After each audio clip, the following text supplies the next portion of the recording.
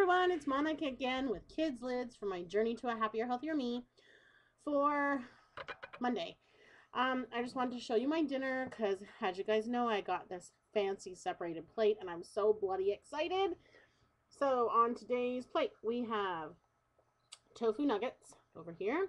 We have, wait, back, there we go. Some mixed beans, which is yellow and green beans and carrots, steamed some spinach salad, and I made homemade red wine vinaigrette and some steamed corn. And in the salad, I put some, can you see? Some oranges and some orange peppers, and it smells amazing. It's baby spinach, by the way. No, I didn't put any yellow peppers.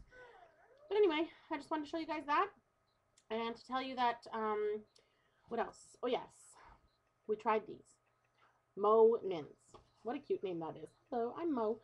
So, um, they're from New Moon Kitchen. Vegan and, let me see, organic spelt flour, dairy and egg free, cholesterol free, no preservatives, vegan, no trans fats, and of course, incredibly yummy, and nut and peanut free. And they are also um, safe for the uh, Jewish diet. So, um, they're kosher. So I just thought that I would uh, show these. They're made in Toronto, which is extremely cool. And we bought these yesterday. They are all gone already, but we did share them with each other. There was only, anyway, whatever. There was only, there's a dozen in it, and I think we got, then, okay, so Kevin got three, Marina got three, and that means I got six. but I did buy them for myself. So I just wanted to do a review on these amazing cookies. So unfortunately, they were expensive.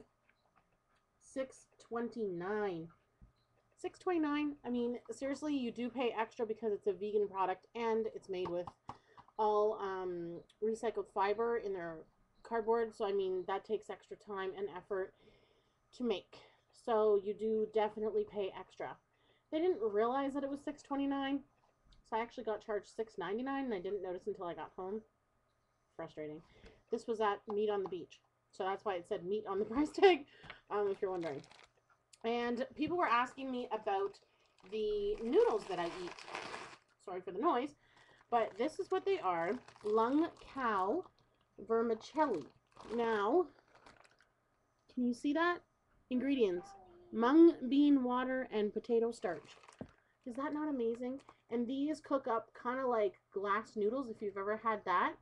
Um, yeah, they're really, really good and they cook up super, super quick. And this bag was like 69 cents. I've used only two of the packages, or not two of the packages, two of the nests, I call them.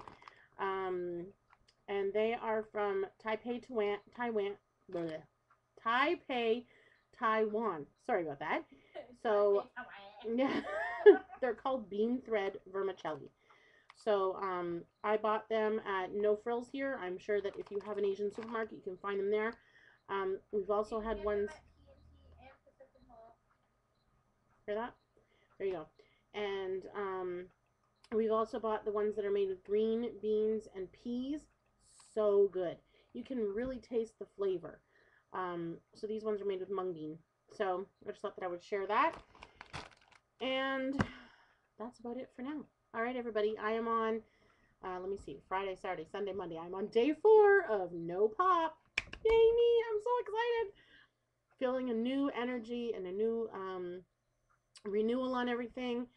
Um, phoned my dietitian today and changed my appointment. So it is now for April the 10th um, at 10.30 in the morning. So I'll definitely let you guys know how that goes.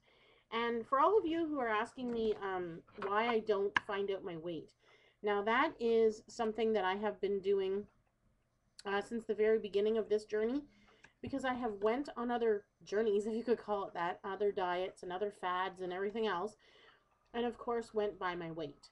And I get obsessed with numbers. I kind of have OCD when it comes to certain things.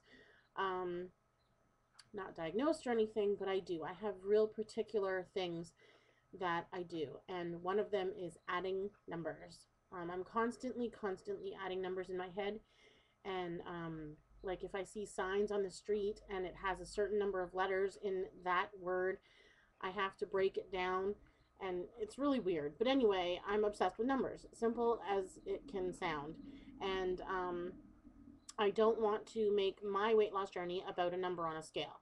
So um, hopefully, you know, you still watch me because I'm definitely in this to um, get healthy, and it's not about the number, like I said. So um, I hope I am inspiring some people and definitely motivating. Um, I would love to film, unfortunately, on our walks. My camera broke, so I have to bring it down to the camera shop.